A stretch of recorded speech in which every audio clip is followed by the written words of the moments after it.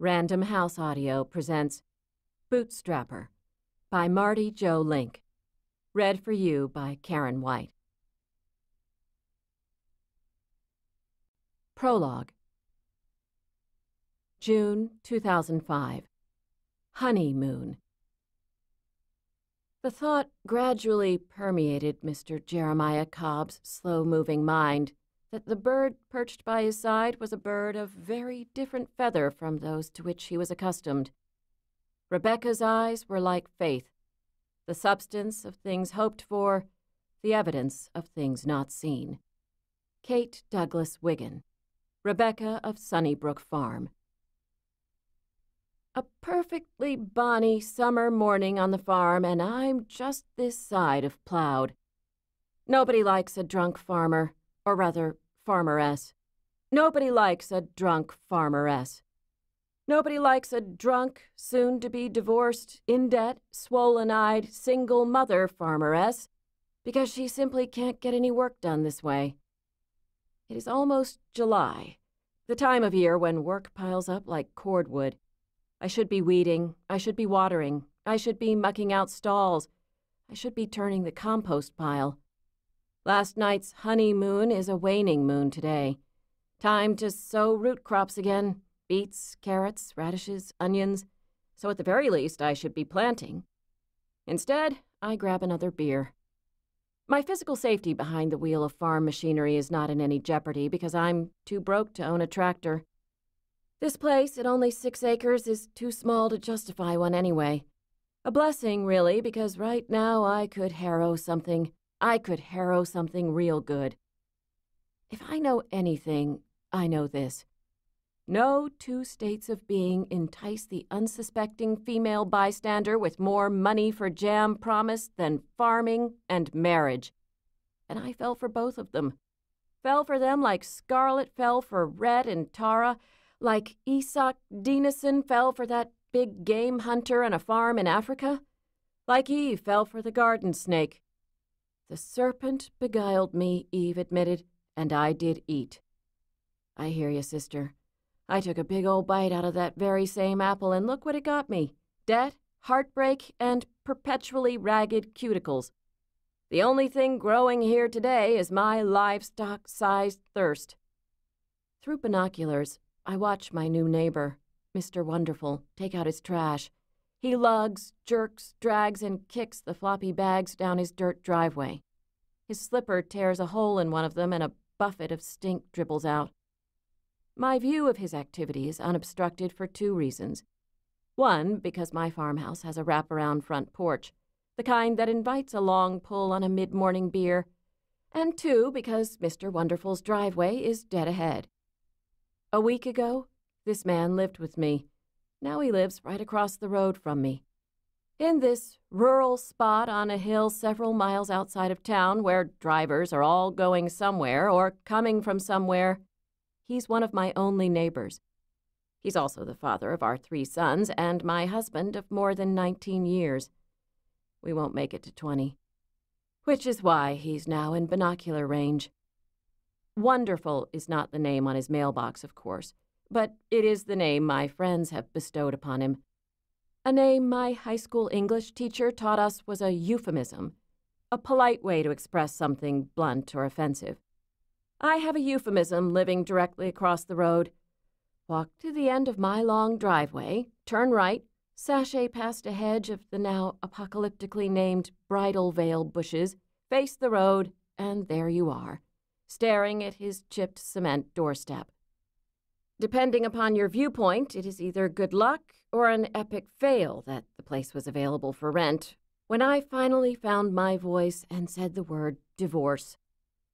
Easier for the kids, he said. Won't need a moving van, he said. Okay, I said. When you live out in the country and find you have arrived, through great fault of your own, at a footing so precarious you can barely communicate without cuss words, is having your soon to be ex husband and father of your three sons living across the road from you a good thing? I'm still trying to figure that out. The beer may or may not be helping. Do you think it's been easy for me? He'd shouted. his body ridged and jutting forward in a way that seemed to defy gravity. Waking up every goddamn morning next to Rebecca of Sunnybrook Farm? Perpetual good cheer, it turns out, can kill a marriage. And really, who knew? What, I wondered, was there not to be cheerful about? I've wanted to live on a farm ever since I was a little girl, and my upwardly mobile parents moved my brother and me from one apartment duplex and bi level to the next, finally settling down for good in a ranch style house in country estates. But real farms were where you had gardens. Real farms were where you had space. Best of all, real farms, and not subdivisions, were where you had horses. I am a Sagittarius, of course, the zodiac sign that is half horse, half human, and we want what we want and we want it now. It's taken some doing, but I finally have an honest to God country estate of my own. Six precious acres, a mammoth garden, a red barn, and inside it, custom stalls for my two blessed horses. We Sagittarians do indeed want what we want, and we do indeed want it now but we are willing to work hard to get it. And anywhere you look around here, that is exactly what you see work. I watch through my binoculars as Mr. Wonderful walks back to his rented garage and loads up with the last of his trash, the unbaggables. A vacuum cleaner, the upright kind, with a houndstooth patterned bag, a burned out barbecue grill teetering on rusted legs, Naugahyde kitchen chairs with symmetrical rips in the edges from years of swiveling up against their matching table. So that's what happened the dinette set. When he moved out, he must have taken it with him. And here I thought it was still safely stored in our garage. My garage.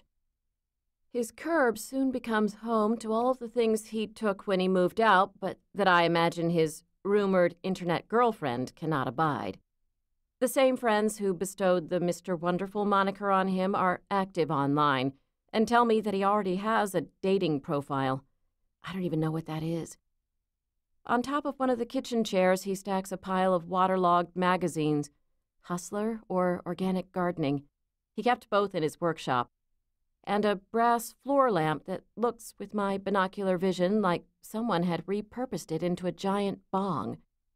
But that can't be right. Because if that's what it is, there is no way he would be getting rid of it. He's a smoking man, not a drinking man. Even our vices are at odds with each other. I scan the horizon and get a surprise. This is not necessarily all trash after all, because a big sign made of lime green tag board stapled to a post is pounded into the ground next to his pile. In black marker, it reads, Free! Which is a lie.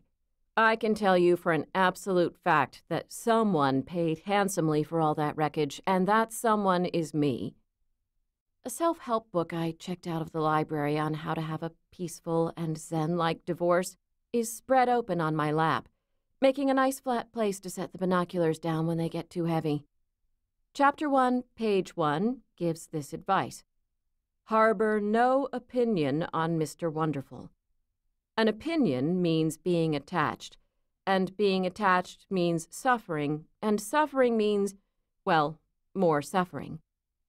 In my Miller High Life glaze, this circular spiritual notion feels like real wisdom. So, right on. Religiously, I am confused. A familiar state of being I am usually okay with, but one that would be nice to have clarified during this crisis point. But here's some good news.